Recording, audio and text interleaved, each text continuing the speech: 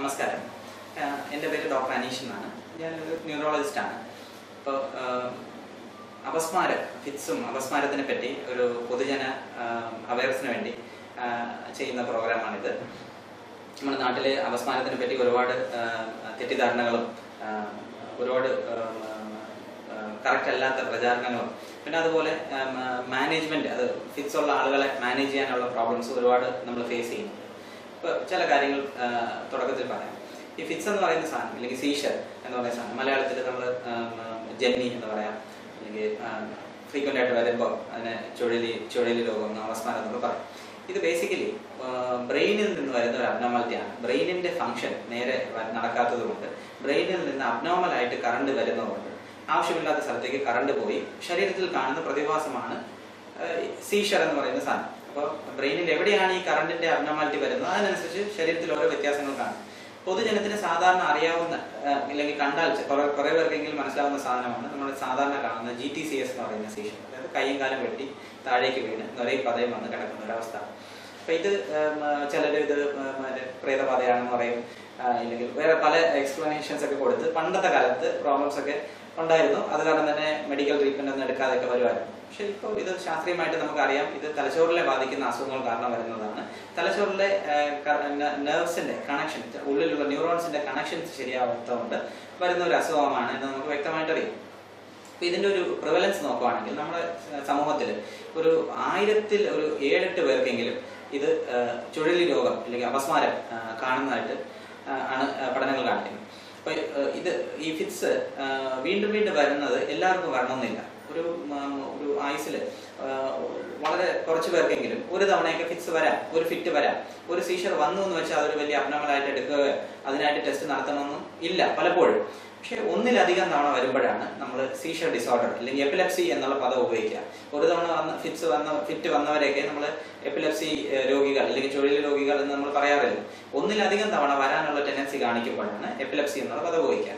അപ്പോൾ ഇതിന്റെ കാരണങ്ങൾ എന്തൊക്കെയെന്ന് നോക്കുകയാണെങ്കിൽ മോസ്റ്റ് മോസ്റ്റ് കോമൺ ആയിട്ട് പ്രത്യേകിച്ചും ഇതിന് ഉള്ളിൽ നിന്ന് വരുന്ന ഫിറ്റ്സ് ഫിറ്റ്സ് എന്ന് പറയുന്നത് ജനിതകമായ കാരണങ്ങൾ ഇല്ലെങ്കിൽ ബ്രെയിനിന്റെ വളർച്ചയിൽ ബ്രെയിനിന്റെ ഘടന നേരെ അല്ലാതെ വന്ന് ബ്രെയിനിന്റെ ഉള്ളിൽ ചെറിയ ഷോർട്ട് സർക്യൂട്ട്സ് കാരണം വരുന്ന സീഷൻ ഇതൊന്ന് സ്കാനൊക്കെ ചെയ്ത് നോക്കിയാൽ കുഴപ്പമൊന്നും കാണില്ല പക്ഷേ ബ്രെയിനിൽ നിന്ന് ഇടയ്ക്കിടയ്ക്ക് അബ്നോമലായിട്ട് കറണ്ട് വരികയും പേഷ്യന്റെ കൈയും കാലും ഒക്കെ വെട്ടി ഫിക്സ് വരുന്ന രീതി. ഇതാണ് നമ്മുടെ മോസ്റ്റ് കോമൺ കാരണം ഫിറ്റ്സിന്റെ മോസ്റ്റ് കോമൺ കാരണം. ഇത് ഇതിന് ഇ- ഇതിനെ ഇഡിയോപ്പതിക് എപ്പിലെപ്സീസ് എന്നൊക്കെ പറയും ഇത് കഴിഞ്ഞ് ഒരു കാറ്റഗറി ഉള്ളത് ബ്രെയിനിൽ ബ്രെയിനിൽ വെളിയിൽ നിന്ന് ഇൻഫെക്ഷൻസോ വെളിയിൽ നിന്നുള്ള ഡാമേജ് കാരണം ബ്രെയിനിന്റെ ഘടന തെറ്റിയിട്ട് അതിൽ നിന്ന് വരുന്ന ഫിറ്റ്സ് ഇതിനെ സിംറ്റമാറ്റിക് എപ്ലക്സി എന്ന് പറയും. അതായത് വെളിയിൽ എന്തെങ്കിലും ഒരു കാരണം കൊണ്ട് ഒരു ഡാമേജ് കാരണം ആ ഡാമേജ് സ്ഥലത്ത് നിന്ന് ഫിറ്റ്സ് വരുന്ന ഒരു കാറ്റഗറി അപ്പൊ ഇത് ഇങ്ങനെ ഇതിൽ ഒരുപാട് കാരണങ്ങളുണ്ട്. ഉദാഹരണത്തിന് ട്രോമ ഒരു ആക്സിഡന്റ് ആയി അല്ലെങ്കിൽ തലയിൽ ഒരു ഇഞ്ചുറി ആയി. ആ ഇഞ്ചുവേർഡ് പാർട്ടിൽ നിന്ന് ഫിറ്റ്സ് അപ്പോഴും വരാം ഫ്യൂച്ചറിലും വരാം. ഒരു ഇൻഫെക്ഷൻ മസ്തിഷ്ക ജ്വരം ഇല്ലെങ്കിൽ എന്തെങ്കിലും ഒരു ഇൻഫെക്ഷൻ ബ്രെയിനിനെ ബാധിച്ചു കഴിഞ്ഞാൽ പഴുപ്പ് കട്ടികളൊക്കെ ബ്രെയിനിൽ വന്നാൽ അവിടെ നിന്ന് പിന്നെ ഫിറ്റ്സ് വരാം. വേറെ ചില ഇൻഫെക്ഷൻസ് ടി ബി അങ്ങനത്തെ ഇൻഫെക്ഷൻസ് ബ്രെയിനിലേക്ക് കടന്നാൽ പിന്നെ ഫിക്സ് വരാം. വളരെ കോമൺ ആയിട്ട് കാണുന്ന വേറൊരു സംഗതി ഈ ക്ലീ തറയിലൊക്കെ കിടക്കുന്ന ഭക്ഷണ പദാർത്ഥങ്ങൾ ക്ലീൻ ആയിട്ട് എടുക്കാതെ കണ്ടാമിനേറ്റഡ് ആയിട്ട് എടുത്ത് കഴിക്കുമ്പോൾ അതിൽ ഈ വേംസിന്റെ ഒക്കെ മുട്ട ബ്രെയിനിലേക്ക് പോയി അത് കാരണം ഫിക്സ് വരാം. ഇങ്ങനെ ഒരുപാട് ഒരുപാട് കാരണങ്ങൾ കൊണ്ട് സിംറ്റമാറ്റിക് എപ്പിലെപ്സി വരാം. അപ്പൊ അതായത് ബ്രെയിൻ ഫുൾ ആയിട്ട് നോർമൽ അല്ല. ബ്രെയിനിൽ എന്തെങ്കിലും ഒരു വെളിയിൽ നിന്ന് ഒരു ഡാമേജ് വന്നിട്ട് വരുന്ന സീഷ്യസ് ഈ ഈ പല കാരണങ്ങളുണ്ടെങ്കിലും ഒരു പബ്ലിക്കിൽ ഒരാൾക്ക് ഫിറ്റ്സ് വരുമ്പോൾ അത് പല രീതിയിൽ മാനിഫെസ്റ്റ് ചെയ്യാം. അപ്പൊ എന്തൊക്കെയാണ് ഇതിന്റെ ഫിക്സിന്റെ ലക്ഷണങ്ങൾ എന്ന് അറിഞ്ഞിരിക്കുന്നത് എല്ലാവർക്കും നല്ലതാണ്. അപ്പം നമ്മുടെ വീട്ടിലോ ഇല്ലെങ്കിൽ നമ്മുടെ ചുറ്റുവട്ടത്തിലോ ഒക്കെ ഒരാൾക്ക് ഫിറ്റ്സ് വന്നാൽ നമുക്ക് ഐഡന്റിഫൈ ചെയ്യാൻ പറ്റും ഇത് ഫിക്സ് ആണ് സംഭവിക്കുന്നതെന്ന് ഐഡന്റിഫൈ ചെയ്യാൻ പല മോസ്റ്റ് കോമൺ ആയിട്ട് കാണുന്ന ഒരു സീഷർ ടൈപ്പ് എന്ന് പറയുന്നത് ജി ടി സി എസ് എന്ന് ടൈപ്പ് ഞാൻ ആദ്യം പറഞ്ഞ പോലെ ഒരു പെട്ടെന്ന് തന്നെ പേഷ്യന്റെ ബോധം നഷ്ടപ്പെടും. ഒരു നിലവിളിയോ ഒരു അലർച്ച കേൾക്കാം. അത് കഴിഞ്ഞ് പേഷ്യന്റ് താഴേക്ക് വീഴുകയും നിൽക്കാനും ഒന്നും പറ്റൂല. ബോധം പോയി താഴേക്ക് വീഴും. പേഷ്യന്റെ കൈയും കാലും ഇനീഷ്യൽ ഫേസിൽ ഒന്ന് ടൈറ്റ് ആവുകയായിരിക്കും ചെയ്യുന്നത്. കൈ കൈ കാലും ടൈറ്റ് ആവും. കുറച്ച് കഴിയുമ്പോൾ തന്നെ കുറച്ച് സെക്കൻഡ്സ് കഴിയുമ്പോൾ തന്നെ വെട്ടാൻ തുടങ്ങും. കൈയും കാലും വെട്ടും. ഒരേപോലെ രണ്ട് സൈഡും കൈ രണ്ട് കൈയും രണ്ട് കാലും വെട്ടുന്ന അവസ്ഥ. ഇതിനെയാണ് ജനറലൈസ് ടോണിക് ക്ലോണിക് സീഷൻസ് എന്ന് പറയുന്നത്. ഇത് ഇതാണ് നമ്മൾ ഏറ്റവും കോമൺ ആയിട്ട് കണ്ടുവരുന്നത്. എല്ലാവർക്കും അറിയാവുന്ന തരത്തിലുള്ള seizure generalise tonic clonic seizure വേറെ ഒരുപാട് വേരിയൻസ് ഉണ്ട്. അതിൽ ഏറ്റവും ഇമ്പോർട്ടന്റ് ആയിട്ടുള്ള രണ്ട് മൂന്നെണ്ണം പറയാം. ഇതേപോലത്തെ വെട്ടൽ പക്ഷേ ശരീരത്തിന്റെ ഒരു ഭാഗത്ത് മാത്രം ഒരു വലത് കൈ മാത്രം വെട്ടുന്നു ഇല്ലെങ്കിൽ വലത് കൈയും കാലും മാത്രം വെട്ടുന്നു ഇല്ലെങ്കിൽ മുഖം ഒരു സൈഡിലേക്ക് മാത്രം കോണി ഇങ്ങനെ വെട്ടിക്കൊണ്ടിരിക്കുന്നു. അതേസമയം ശരീരത്തിന്റെ രണ്ട് ഭാഗം ബാധിക്കപ്പെടുന്നില്ല. ഇതിന് ഫോക്കൽ എപ്പിലെപ്സീസ് എന്ന് പറയും. ഒരു ഫോക്കലായിട്ട് ഒരു സ്ഥലത്ത് നിന്ന് പറയും. ഈ കാറ്റഗറി ഫോക്കൽ എപ്പിലെപ്സിയിൽ പലപ്പോഴും നമ്മൾ ബ്രെയിനിന്റെ സ്കാനോ ഒക്കെ ചെയ്ത് നോക്കിക്കഴിഞ്ഞാൽ ബ്രെയിനിൽ ഒരു പർട്ടിക്കുലർ ഭാഗത്ത് ഒരു പ്രോബ്ലം ഉള്ളതായിട്ട് കാണും. ജനറലൈസ് ടോണിക്ലോണിക്സ് രണ്ട് സൈഡ് ഒരുമിച്ച് വരുന്ന സീഷ്യസിൽ അത്രത്തോളം ബ്രെയിൻ ഡാമേജസ് കാണാറില്ല. പക്ഷേ ഈ ഫോക്കൽ എപ്പിലെപ്സിയിൽ പലപ്പോഴും ബ്രെയിനിൽ എന്തെങ്കിലും ഒരു പ്രോബ്ലം കാണാറുണ്ട്. പിന്നെ ഒരു കാറ്റഗറി സീഷ്യസ് എന്ന് പറയുന്നത് കോംപ്ലക്സ് പാർഷ്യൽ സീഷ്യസ് എന്ന് പറയും. ഈ ഫോക്കൽ എപ്പിലെപ്സി പാർഷ്യൽ എപ്പിലെപ്സിയുടെ തന്നെ ഒരു വകഭേദമാണ് കോംപ്ലക്സ് പാർഷ്യൽ സീഷ്യർ പേഷ്യന്റിന് ഇതിന്റെ കൂടെ ഒരു കൈയും കാലം വെട്ടുന്നതിന്റെ കൂടെ ബോധം പോകുന്നുണ്ട്. പക്ഷേ ഇതിന് ചില വ്യത്യസ്തമായിട്ടുള്ള ചില പർട്ടിക്കുലർ ആയിട്ടുള്ള കുറെ ഫീച്ചേഴ്സ് കാണും. ഉദാഹരണത്തിന് കോംപ്ലക്സ് പാർഷ്യൽ സീഷ്യർ ബ്രെയിനിന്റെ ടെമ്പറൽ റീജിയൻ എന്നൊരു ഭാഗത്ത് നിന്നാണ് വരുന്നെങ്കിൽ ചില ഓട്ടോമാറ്റിസംസ് ഉണ്ടാവാം ടെമ്പറൽ ഫ്രണ്ടൽ ബ്രെയിനിന്റെ മുൻഭാഗം അവിടെ നിന്നൊക്കെ വരുവാണെങ്കിൽ ഓട്ടോമാറ്റിസംസ് എന്നൊരു പ്രതിഭാസം ഉണ്ടാവാൻ സാധ്യത ഓട്ടോമാറ്റിസംസ് എന്ന് പറയുന്നത് ചെയ്യുന്ന ആക്ടിവിറ്റി തന്നെ വീണ്ടും ചെയ്തുകൊണ്ടിരിക്കുക. അപ്പോൾ ഭക്ഷണം കഴിക്കുന്ന വ്യക്തി ചോറെടുത്ത് വായിൽ വെച്ചിട്ട് വീണ്ടും വീണ്ടും വീണ്ടും അത് തന്നെ ചെയ്തുകൊണ്ടിരിക്കുക. ആ സമയത്ത് ബോധം ഉണ്ടാവില്ല. താഴെ വീഴുന്നില്ല. കൈയും കാലൊക്കെ തള്ളും താഴെ വീഴുന്നില്ല. പേഷ്യന്റ് കഴിച്ചുകൊണ്ടിരിക്കുക. പക്ഷെ ഒരു ഒരു പത്ത് സെക്കൻഡ് അല്ലെങ്കിൽ ഇരുപത് സെക്കൻഡ് റെസ്പോൺസ് ഇല്ല. വിളിച്ചാലൊന്നും കേൾക്കുന്നില്ല. വീണ്ടും വീണ്ടും അതേ ആക്ടിവിറ്റി ചെയ്തുകൊണ്ടിരിക്കുന്നു. ഇല്ലെങ്കിൽ ഒരു പെട്ടെന്ന് സംസാരിച്ചുകൊണ്ടിരിക്കുന്ന വ്യക്തി പെട്ടെന്ന് സംസാരം നിർത്തി ഒരു സ്ഥലത്തേക്ക് മാത്രം ഇങ്ങനെ നോക്കിയിരിക്കുക ചുമരിലേക്ക് നോക്കിയിരിക്കുക. ഒരു പത്ത് പതിനഞ്ച് സെക്കൻഡ് കഴിയുമ്പോൾ തിരിച്ച് ബോധത്തിലേക്ക് വരിക. നമ്മൾ ആ വ്യക്തിയെ വിളിച്ച് എന്ത് പറ്റിയെന്ന് ചോദിച്ചാൽ പുള്ളിക്കാരനൊന്നും റെക്കഗ്നൈസ് ചെയ്യത്തില്ല. ഒന്നും പറ്റിയതായിട്ട് ഉള്ള ഒരു അവ- അവബോധം ഉണ്ടാവില്ല. പെട്ടെന്നൊരു സൈക്കോമോട്ടർ അറസ്റ്റ് എന്ന് പറയും. താഴെ വീഴുന്നില്ലെങ്കിൽ പക്ഷേ ചെയ്തുകൊണ്ടിരിക്കുന്ന ആക്ടിവിറ്റിയിൽ നിന്ന് പേഷ്യന്റ് സസ്പെൻഡ് ആവുന്നു. അവിടെ അവിടെ ഇല്ല പേഷ്യന്റ് ബേസിക്കലി ആ പേഷ്യന്റിന്റെ ബ്രെയിനിൽ സീഷർ വന്നിട്ട് പേഷ്യന്റിന്റെ വെളിയിലേക്കുള്ള സ്റ്റിമുലസിന് റെസ്പോൺസ് കൊടുക്കാൻ പറ്റാതെ. ഈ സമയത്ത് ഓട്ടോമാറ്റിക്സ് വരാം. ഇപ്പോൾ ഉദാഹരണത്തിന് അറസ്റ്റായി ഈ ഒരു സ്ഥലത്തേക്ക് നോക്കിക്കൊണ്ടിരുന്നിട്ട് ചുണ്ടുകൊണ്ട് ചുണ്ട് കൊണ്ട് വീണ്ടും റിപ്പറ്റേറ്റീവ് ആയിട്ടുള്ള ഓട്ടോമാറ്റിക്സ് മൂവ്മെന്റ്സ് ഇല്ലെങ്കിൽ ചവയ്ക്കുന്ന പോലത്തെ മൂവ്മെന്റ്സ് വീണ്ടും വീണ്ടും ചെയ്തുകൊണ്ടിരിക്കാം. ഇല്ലെങ്കിൽ കൈ കൊണ്ട് ബട്ടൺസ് ഒക്കെ ഇല്ലെങ്കിൽ ഷർട്ടിൽ ഇങ്ങനെ വീണ്ടും വീണ്ടും അറിയാതെ ഇങ്ങനെ ഇങ്ങനെ പിടിക്കുന്ന പോലത്തെ റിപ്പറ്റേറ്റീവ് മൂവ്മെന്റ്സ് ഒക്കെ വരാം. ഇതിന് ഓട്ടോമാറ്റിക്സ് എന്ന് പറയും. ഇത് കോംപ്ലക്സ് പാർഷ്യൽ സീഷ്യസിൽ കാണുന്ന ഒരു ഒരു രീതിയാണ്. അപ്പൊ ഈ പ്രതിഭാസം ഉണ്ടെങ്കിൽ ബ്രെയിനിന്റെ ഫ്രണ്ടിൽ നിന്നാണോ ടെമ്പറൽ ലോബിൽ നിന്നാണോ ടെമ്പറൽ ലോബിൽ നിന്നാണോ ഇതൊക്കെ നമുക്ക് കണ്ടുപിടിക്കാൻ പറ്റും. ഇതൊക്കെയാണ് മോസ്റ്റ് കോമൺ സീഷർ ടൈപ്സ് പിന്നെ ചില സീഷർ ഉള്ളത് മയോക്ലോണിക് സീഷേഴ്സ് എന്ന് പറയും. വീണ്ടും വീണ്ടും വെട്ടത്തില്ല പക്ഷെ ഒന്നോ രണ്ടോ വെട്ടൽ മാത്രം.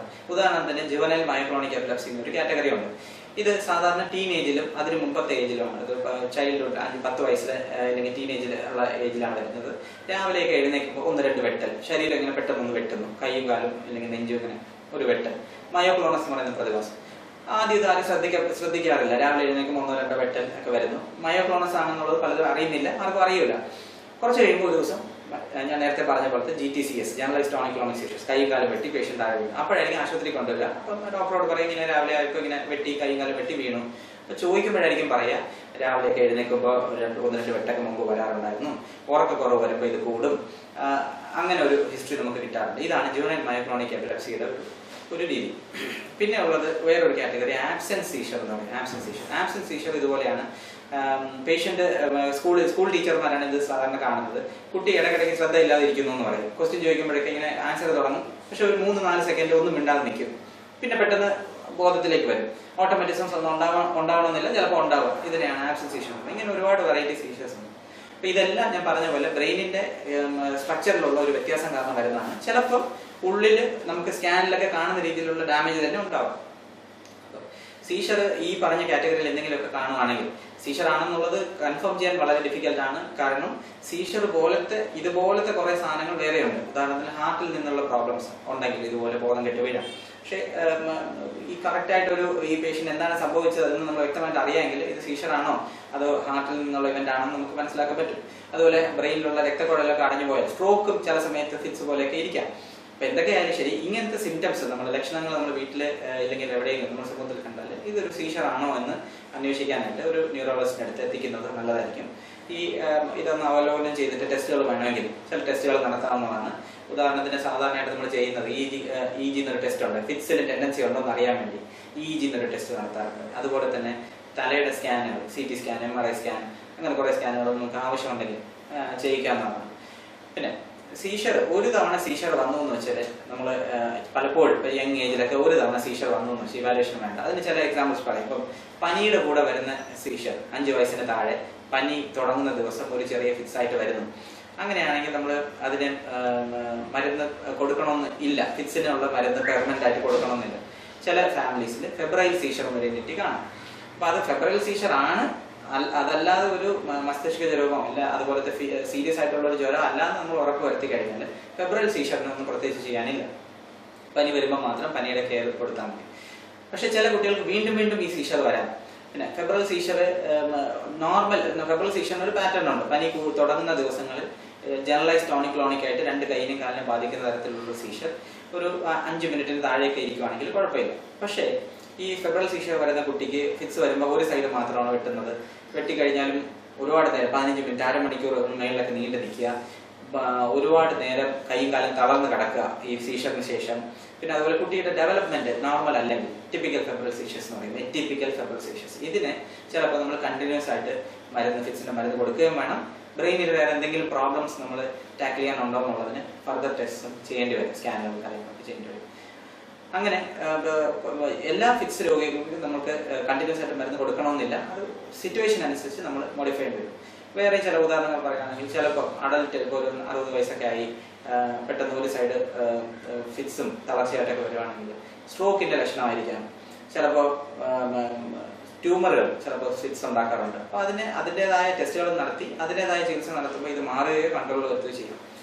മെജോറിറ്റി ആളുകൾക്ക് ഈ പറഞ്ഞ പോലെ ഇഡിയോപ്പതിക്ക് എപ്പിലപ്സിസ് ആണെങ്കിൽ നമുക്ക് ഒരുപാട് നാൾ മരുന്ന് കഴിക്കാൻ പറ്റും. കാരണം പലതും ഈ ബ്രെയിനിൽ പ്രോബ്ലംസ് ഇല്ല നമ്മൾ വ്യക്തമായിട്ട് ഒരു കാണുന്ന രീതിയിലുള്ള ഡാമേജ് ഇല്ലെങ്കിൽ ഉള്ളിലുള്ള ചെറിയ മൈക്രോ സ്ട്രക്ചറൽ ഷോർട്ട് സർക്യൂട്ട് പോലത്തെ സാധനങ്ങൾ കാരണം വരുന്ന ഫിറ്റ്സ് ആണ്.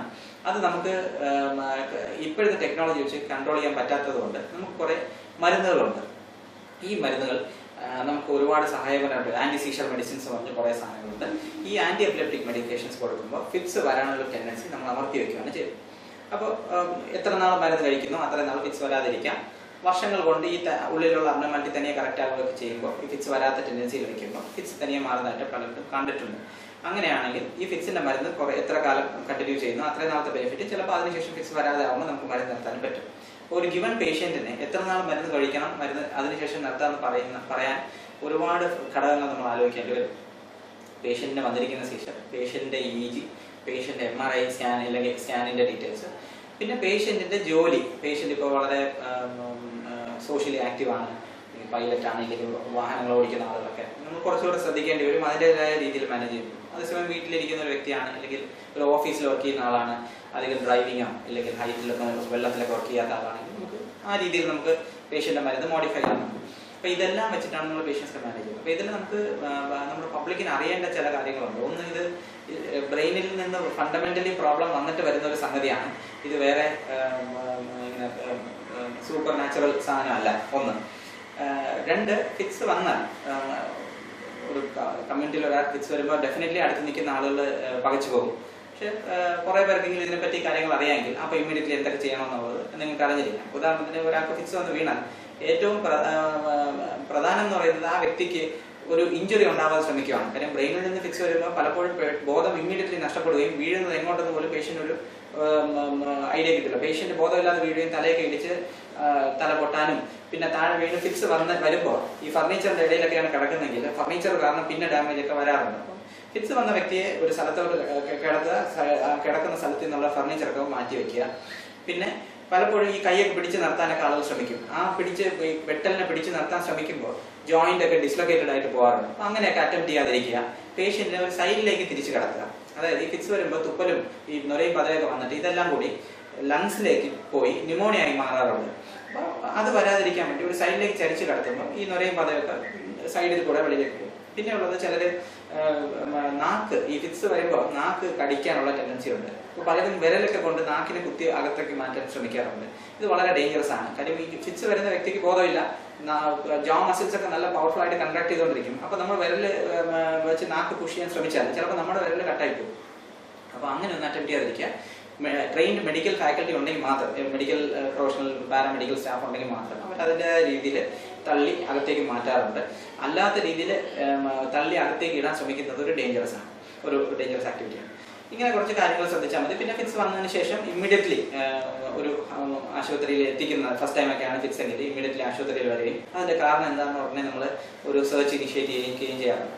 പിന്നെ ചിലപ്പം ഇപ്പം ഇതൊക്കെ സിറ്റുവേഷൻ ഇപ്പോൾ ആക്സിഡന്റ് ആണ്. ആക്സിഡന്റ് കഴിഞ്ഞിട്ടാണ് സീഷർ അങ്ങനെയൊക്കെ ആണെങ്കിൽ നമുക്ക് ഇമ്മീഡിയറ്റ്ലി ആശുപത്രിയിൽ പോയി അതിന്റെ ടെസ്റ്റുകളൊക്കെ നടത്തേണ്ടി വരും.